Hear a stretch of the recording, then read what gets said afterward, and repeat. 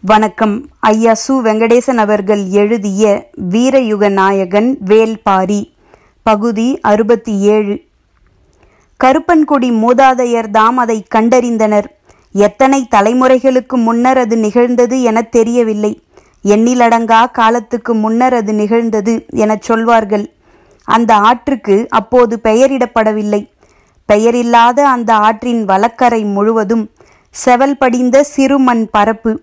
அதில் புதர் மண்டிய புற்காடு. புல்லின் வகைகள்தாம் எத்தனை எத்தனை. வடிவத்திலும் நிறத்திலும் அவை ஏற்படுத்தும் வாசனையிலும் வகைப்படுத்த முடியாதவையாகத்தானே இன்று வரை இருக்கின்றன.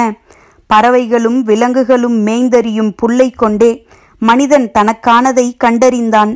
ஆவினத்தை மேய்த்து கொண்டிருக்கையில் புதர் ஒன்றில் நீல் தோகை கொண்ட பெரும் புல் விளைந்து கிடந்திருக்கிறது. மேய்த்து கொண்டிருந்தவன் அது என்ன வகை புல் என்பதை அறிய அதன் தோகையை கைகளால் பறித்து பார்க்க முயன்றிருக்கிறான். தோகையின் பக்கவாட்டு கூர்மை கிழித்துவிடக்கூடியதாக இருந்தது. அதன் நீள் தண்டு சற்றே வேறுபட்டு இருந்ததையும் பார்த்திருக்கிறான். மேய்ச்சல் வெளிதான் மனிதன் இயற்கையின் நுட்பத்தை கவனிக்க கிடைத்த முதற்பெரும் வாய்ப்பு. பறந்து அலையும் தும்பிகள் காலூன்றா புற்கள் எவை என்பது தொடங்கி நீண்டிருக்கும் புல்நுனியில் செருகி நிற்கும் பனித்துளியின் கனம் வரை அனைத்தையும் அவன் அறிவின் சேகரமாக மாற்றிக்கொண்டிருந்தான் கருநீல நிறமும் நெடுநீல் தோகையும் உடைய அந்த புல்லின் தண்டு பகுதியை ஒரு நாள் தற்செயலாக கடித்து பார்த்தான். அதன் சாறு அவன் அறிந்திராத தித்திப்பை கொடுத்தது. மீண்டும் கடித்தான். தித்திப்பின் அளவு குறையவே இல்லை. மீண்டும் மீண்டும் கடித்து சுவைத்தான். சுவை குறையாத இந்த புல்லை பற்றி தன் கூட்டத்தார் அனைவருக்கும் போய் சொன்னான். அனைவரும் வந்து கடித்து சுவைத்தனர். அதை சுவைப்புல் என்றே அழைத்தனர். அந்த சுவைப்புல் தனது கணுக்களிலிருந்து முளைவிடுவது அறிந்து கரணைகளாக அதை வெட்டி புதிய இடத்தில் நட்டு வைத்தனர். கணுக்கள் தழைத்து பெரும் புற்களாகின. பல கரணைகளை ஒரே இடத்தில் பரவலாக நட்டு வைக்க சுவைப்புல் பெருங்காடென வளரத் தொடங்கியது. இந்த அரிய புல்லை பற்றி மற்றவர்களும் கொஞ்சம் கொஞ்சமாக அறியத் தொடங்கினர். கருப்பன் குடியினர் அரிய வகை சுவைப்புல்லை பயிரிட்டு வளர்க்கின்றனர் என்ற செய்தி பரவ பலரும் அவர்களிடம் வந்து சுவைப்புல்லை கேட்டு வாங்கிச் சென்றனர். நாளடைவில் சுவைப்புல் என்ற பெயர் நீங்கி அந்த குடியின் பெயரால் கரும்பா புல்லென்றும் கரும்பென்றும் அதற்கு பெயர் விளங்கிற்று. தலைமுறைகள் பல கடந்தோடின. கருப்பன் குடியினர் கரும்பின் எண்ணற்ற நுட்பங்களை தங்களது பட்டறிவில் சேகரித்திருந்தனர். கணுக்களின் முகம் பார்த்து கரும்பின் சுவையை கணிக்கும் பேரறிவை பெற்றனர். புதிய நிலங்களில் எந்த வகை கரணைகளை நட வேண்டும் என்றும் எந்த வகை கரும்புகள் தித்திப்பின் உச்சம் எனவும் அவர்கள் துல்லியமாக அறிந்தனர். பனைச்சாற்றிலிருந்து காய்ச்சப்பட்ட இனிப்பு கட்டியைப் போல கரும்பஞ்சாற்றிலிருந்தும் இனிப்பு கட்டியை காய்ச்சி எடுத்தனர். செய்தி எங்கும் பரவியது. கரும்பென அழைக்கப்படும் சுவைப்புல் அரிதினும் அரியதொன்றாக எல்லோரும் பேசிய காலத்தில்தான் அந்த கொடும் தாக்குதல் நடந்தது. பயிரிடுதலின் நுட்பத்தை அறிய தலைமுறை தலைமுறையாக தங்களை ஒடுக்கிக் கொண்டு மண்ணுள் புதைந்திருந்த கருப்பன் குடியினரின் மீது திடீர் தாக்குதல் நடந்தது. தாக்குதல் நடத்தியவர்கள் தங்களை சோழர் குடி என முழங்கினர். இரக்கமற்ற கொடும் தாக்குதலை எதிர்கொள்ள முடியாமல் கருப்பன் குடியினர் சிதைவுற்று வீழ்ந்தனர். அவர்களை வெட்டி வீசி விளைநிலங்களையும் செல்வங்களையும் கைப்பற்றுவதுதான் அந்த காலத்து நடைமுறை. ஆனால் சோழர்குடியின் தலைவன் கருப்பன்குடியினரின் அறிவையும் ஆற்றலையும் நன்கு உணர்ந்தவனாக இருந்தான். எனவே அந்த குடியினரை முழு முற்றாக அழிக்கவில்லை. எல்லோரையும் விளைநிலங்களில் அடிமைகளாக மாற்றினான். கரும்பை எவ்வளவு அதிகமாக விளைய வைக்க முடியுமோ அவ்வளவு அதிகமாக விளைய வைத்தான். கரும்பின் சுவை எங்கும் பரவியது. பனை வெள்ளத்தையும் ஈச்ச வெள்ளத்தையும் கரும்பின் வெள்ளச்சுவை மிஞ்சியது. தலைமுறைகள் பல கடந்தாலும் கருப்பன்குடியின் அடிமை வாழ்வு முடிந்த பாடில்லை. அவர்கள் அளவுக்கு கரும்பை அறிந்த மனித கூட்டம் எதுவும் உருவாகவில்லை. இந்த நிலையில்தான் யவன வணிகம் தொடங்கியது. சேரனின் மிளகுதான் முதலில் யவனர்களை ஈர்த்தது. அந்த வணிகமே பெருமளவு நடந்து கொண்டிருந்தது.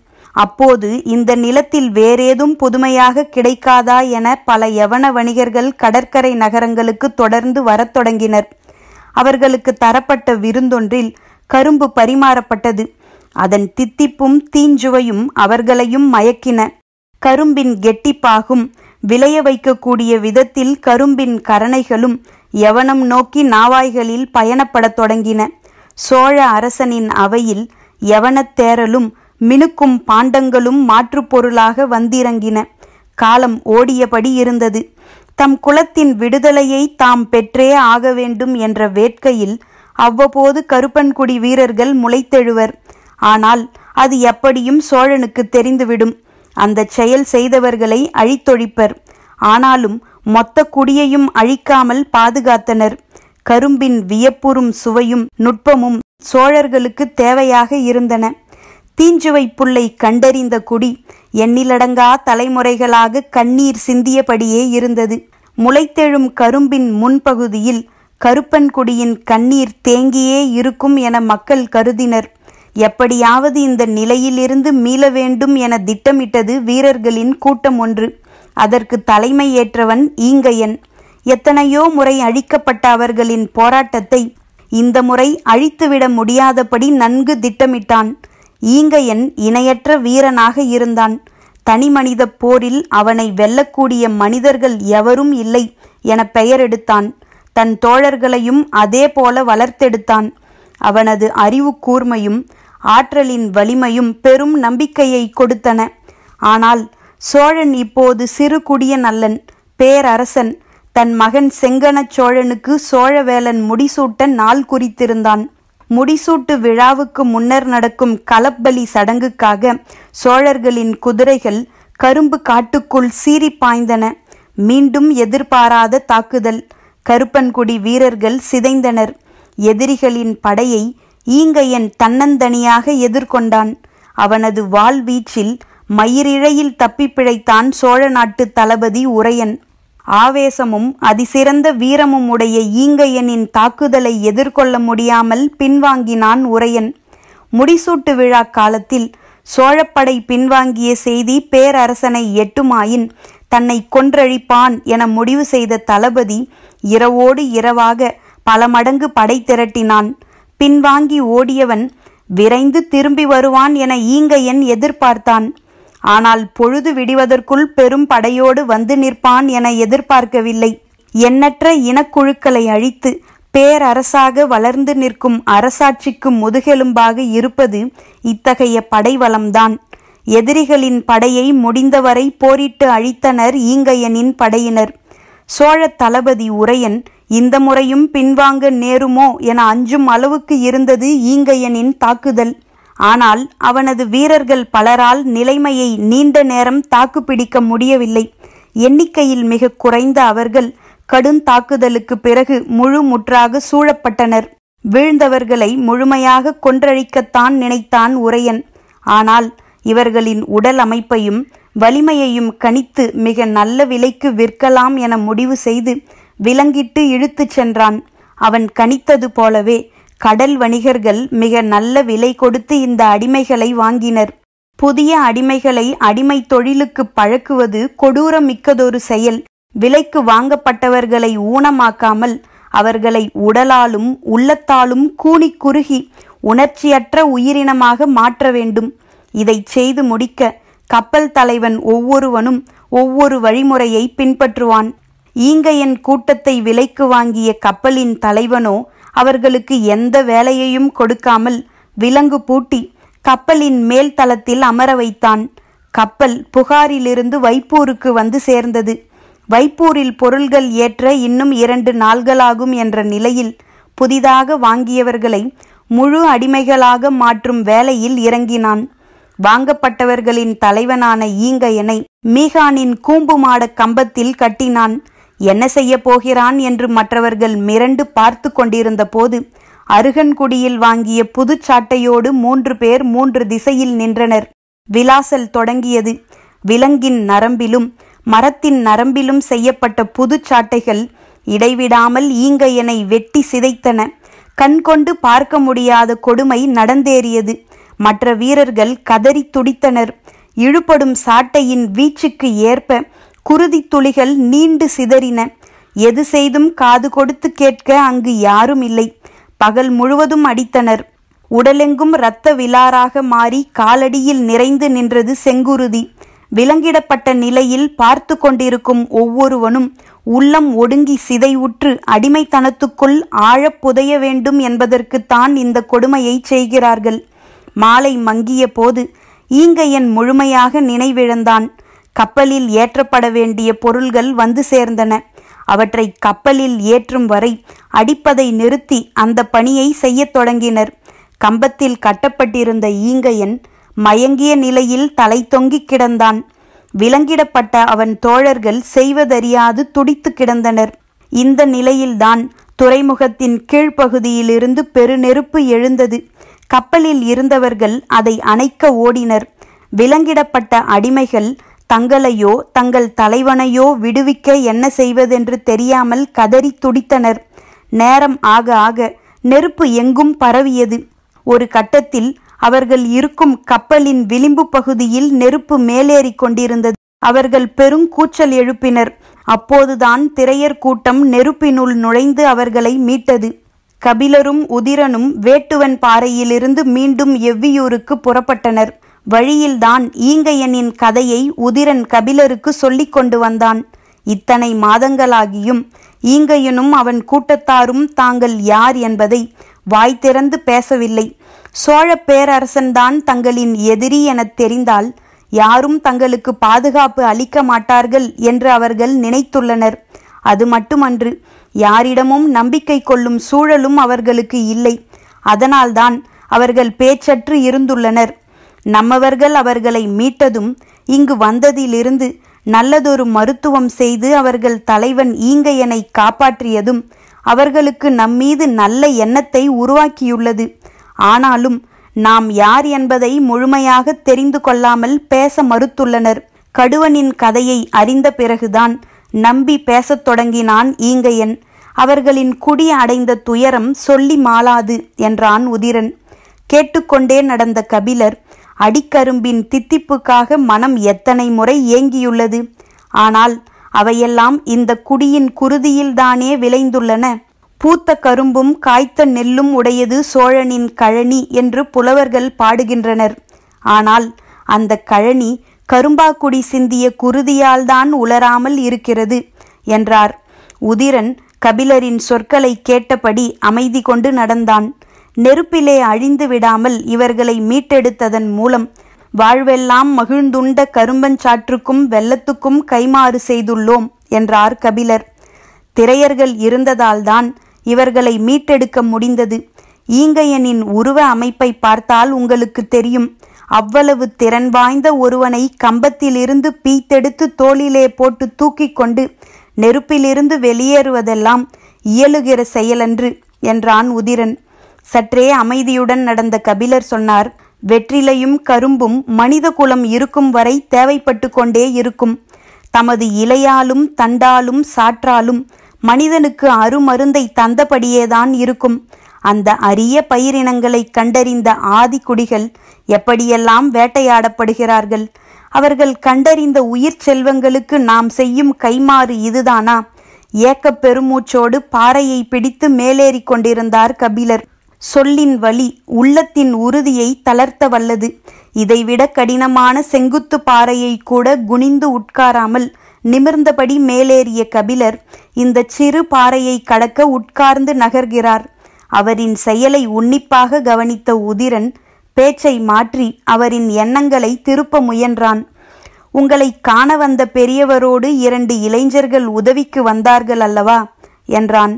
பாறையை கவனமாய் கடந்த பிறகு நிமிர்ந்த கபிலர் ஆம் திசைவேழரோடு இருவர் வந்திருந்தனர் என்றார். அவர்களில் ஒருவனாவது படைவீரனாகவோ ஒற்றனாகவோ இருப்பான் என நானும் நீலனும் நினைத்தோம். ஆனால் அப்படி அன்று இருவருமே அவரின் மாணவர்கள்தாம். அவர் காலத்தை கணிக்கும் பேராசான். இது போன்ற செயல்களுக்கெல்லாம் மாமனிதர்களை பயன்படுத்திவிட முடியாது. இயற்கையின் பேர் இயக்கத்தை கணித்து கொண்டிருப்பவர்கள் மனிதர்களின் கீழ்மைக்கு துணை போக மாட்டார்கள். கபிலர் சொல்லி முடிக்கும் முன்னர் சற்றும் இடைவெளியின்றி உதிரன் கேட்டான் பாண்டிய பேரரசுக்காகத்தானே அவர் இங்கு வந்தார்? இல்லை அவர் நம்பும் உண்மைக்காக வந்தார். இயற்கையின் உள் நரம்புகள் மனிதனின் கைகளுக்கு மிக அரிதாகவே அகப்படும். அப்படியொன்று தெய்வவாக்கு விலங்கின் வடிவில் அகப்பட்டுள்ளது. அதை இழந்துவிடக் கூடாது என்ற தவிப்பில்தான் வந்துள்ளார் என்றார். அவரின் கூற்றில் உண்மை இருக்கிறதா எனக் கேட்டான் உதிரன். அடுத்த பாறையில் ஏறாமல் அப்படியே நின்றார் கபிலர். பாறையின் மேலேறிய உதிரனுக்கு கபிலர் ஏன் ஏறாமல் நிற்கிறார் என்ற காரணம் புரியவில்லை. நான் எங்கே நிற்கிறேன்? என்று கேட்டார் கபிலர். கீழே நிற்கிறீர்கள் என்றான் உதிரன். காரமலையின் உச்சியில் நின்றாலும் நான் கீழே நிற்பதாகத்தானே உனக்கு தோன்றுகிறது? என்றார். கபிலர் சொல்ல வருவது உதிரனுக்கு புரியவில்லை. கபிலர் விளக்கினார் உண்மை என்பது இருக்கும் இடம் சார்ந்தது. அதனால்தான் நான் கீழே இருப்பதாக கன நேரத்தில் நீ முடிவு செய்துவிட்டாய் நீ சொல்வது உன்னளவில் மட்டுமே உண்மை. அதுவே முழு உண்மையாகிவிடாது எல்லோரும் ஓரிடத்தில் நிற்கப் போவதில்லை. எனவே எல்லோருக்குமான பொது உண்மை இருக்கப் போவதே இல்லை. கபிலரும் உதிரனும் எவ்வியூர் அடைந்தபோது தேக்கனும் காலம்பனும் ஊர் திரும்பியிருந்தனர். அனங்கனும் அவன் குழுவினரும் காட்டெருமை கூட்டத்தோடு எந்த மலையில் அலைகிறார்கள் என்பதை பற்றி பலரும் அவர்களிடம் விசாரித்து கொண்டிருந்தார்கள். கபிலர் வந்து சேர்ந்ததும் விசாரிப்புகள் எல்லாம் அவர் பக்கமாக திரும்பின. அவரின் ஆசானை பற்றி அறிந்து கொள்ள எல்லோருக்கும் ஆர்வம் இருந்தது. பாட்டாப்பிறையில் பெரியவர்கள் காத்திருந்தனர். ஆனால் பாரியை பார்க்க போன கபிலர் நள்ளிரவு வரை வரவில்லை. பாரியின் அவையில்தான் அந்த உரையாடல் நடந்தது.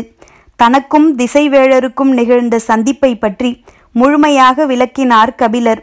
உடன் தேக்கனும் முடியனும் இருந்தனர். திசைவேழர் வந்ததன் நோக்கத்தை பாரியால் கணிக்க முடிந்தது. தேவவாக்கு விலங்கு வடதிசை நோக்கித்தான் உட்காரும் என்பது அனைவரும் அறிந்த ஒன்றுதான். ஆனால் அதற்கு இப்படி ஒரு பயன்பாட்டு காரணம் இருக்கும் என நினைக்கவில்லை என்றான் பாரி. அது வடதிசை நோக்கி மட்டுமே உட்காரும் என்பது உங்கள் அனைவருக்கும் தெரியுமா? எனக் கேட்டார் கபிலர். இது கூடவா தெரியாமல் இருப்போம் என்றான் முடியன். தேவவாக்கு விலங்கை கொற்றவையின் குழந்தை என்றுதானே சொல்கிறோம். கொற்றவைக்கு வடக்கு வா செல்லி என்றொரு பெயர் உண்டு என்பதை நீங்கள் அறிய மாட்டீர்களா? கொற்றவை கூத்தின் போது அனைத்து நாள்களும் அது கீழிறங்கி வந்துதானே பழத்தை எடுத்தது. அப்போதெல்லாம் அது உட்கார்ந்ததை நீங்கள் கவனித்து அறியவில்லையா? எனக் கேட்டான் பாரி. கபிலர் திகைத்துப் போனார். அவை மிகவும் அஞ்சியபடி வந்து பழத்தை எடுத்துச் செல்வதை கூர்ந்து கவனித்தேன்.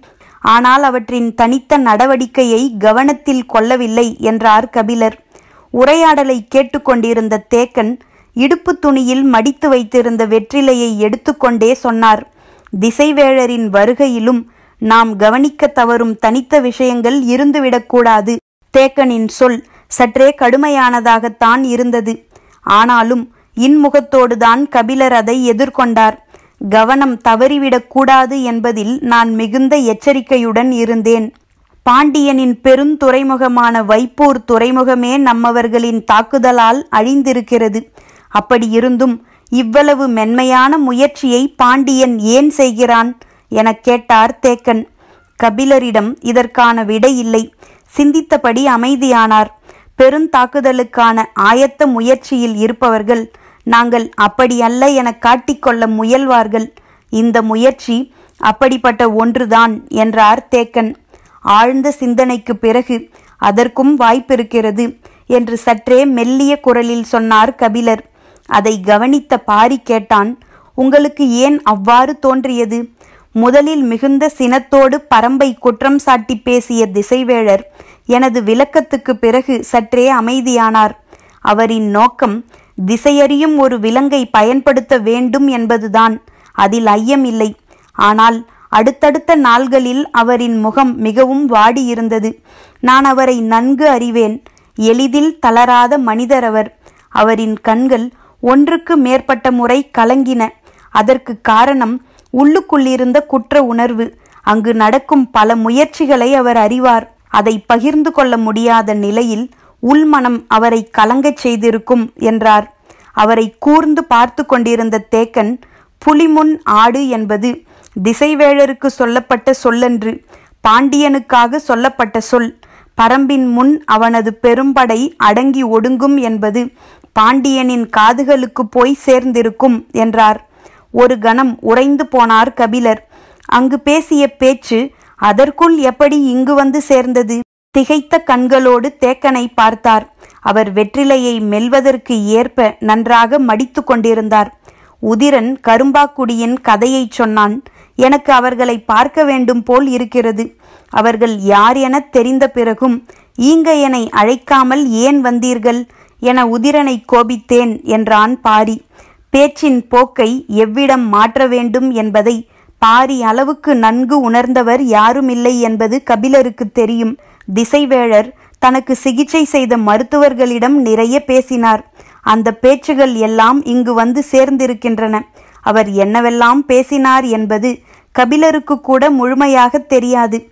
அவரின் எண்ண ஓட்டங்களை கண்டறிய மருத்துவர்களுக்கு கூடுதல் வாய்ப்பு இருந்திருக்கும். அவர் சொன்ன சொற்களிலிருந்துதான் தேக்கன் இந்த முடிவுக்கு போயுள்ளார் என்பதை கபிலர் உணர்ந்த போது அது குறித்த பேச்சை நீட்டிக்க வேண்டாம் என்றுதான் பாரி ஈங்கையனின் பேச்சை எடுத்தான். பாரியின் எண்ணத்தை புரிந்து கொண்டு கபிலர் சொன்னார் நாங்கள் மலையேறும் போதுதான் ஈங்கையனின் கதையை உதிரன் என்னிடம் சொன்னான். அவர்களை பார்க்காமல் வந்துவிட்ட கவலை எனக்கும் உண்டு. வெற்றிலையை வாயில் மென்றபடி தேக்கன் கேட்டார் என்ன சொன்னார் வேட்டூர் பழையன்? உங்களுக்கு தெரியாமல் என்னிடம் எதுவும் சொல்லப் போகிறாரா? அல்லது என்னிடம் சொல்லியது எதுவும் உங்களுக்கு தெரியாமல் இருக்கப் போகிறதா? என நினைத்து கொண்டே நான்கு நாள்கள் அல்லவா நிறைய பேசினோம். குறிப்பாக நீலன் மயிலாவின் மனவிழா பற்றி கண்கள் பூக்க பேசினார் என்றார். மென்று சுவைத்த வாயின் அசைவு சட்டென நின்றது. காலம் தாழ்த்துவது அழகல்ல என தோன்றியபடியே இருந்த எண்ணத்தை கிளறிவிட்டது கபிலரின் சொல். திரும்பி பாரியை பார்க்க நினைத்தவர். அதை தவிர்த்து மீண்டும் கபிலரின் பக்கம் திரும்பினார். தேக்கனின் எண்ண ஓட்டத்தை மட்டுமன்று பழையனின் எண்ண ஓட்டத்தையும் நன்கு அறிந்த பாரி சொன்னான் இந்த கார்காலத்தில்தான் மணவிழாவை முடிவு செய்திருந்தோம். ஆனால் எதிர்பாராத பலவும் நடந்துவிட்டதால் மணவிழாவை நடத்த முடியாமல் போய்விட்டது. அதற்காக இனியும் காலம் கடத்த வேண்டாம். உப்பறைக்கு போய் வந்த மூன்றாம் நாள் மனநாளாக முடிவு செய்து செய்தி அனுப்புங்கள் என்றான் பாரி. நீண்ட நாள் பேச்சு அந்த கணமே முடிவானது. தேக்கனுக்கு பெரும் மகிழ்ச்சியை தந்தது. உடனே சம்மதித்தான். கபிலரும் மகிழ்வடைந்தார். உப்பறைக்கு போய் வந்தவுடன் என்று பாரி ஏன் சொன்னான் என்பது மட்டும் அவருக்கு புரியவில்லை. உப்பறை எங்கே இருக்கிறது? போய் வர எவ்வளவு நாள்களாகும்? எனக் கேட்டார். போய் வர ஒரு மாதமாகும். ஆண்டுக்கு ஒரு முறை பரம்பின் தலைவன் அங்கு போய் திரும்புவது காலகால பழக்கம்.